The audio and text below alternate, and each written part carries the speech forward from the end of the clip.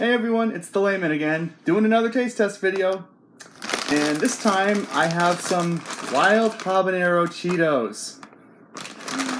Yeah, these, these I'm betting these are going to be super spicy, but I like spicy, so we'll see what happens.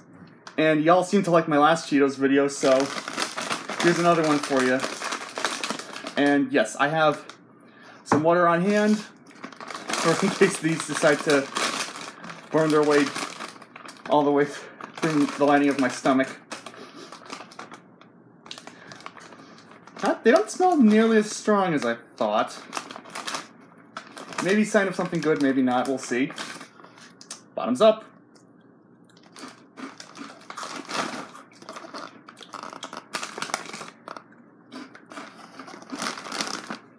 Hmm. Not too bad initially. No, wait. There's the spice. Takes a second to come in. Oh yeah. Yeah, it's definitely getting spicy now. And not quite as much as I thought, but then again, I guess people make Cheetos actually want their customers to, you know, buy these again.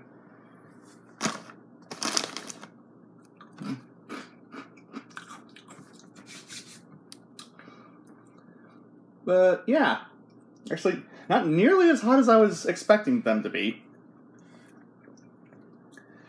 Kind of like starts off as a slow burn. It gets on a scale of one to ten, I'd say four and a half to five and a half in terms of spiciness.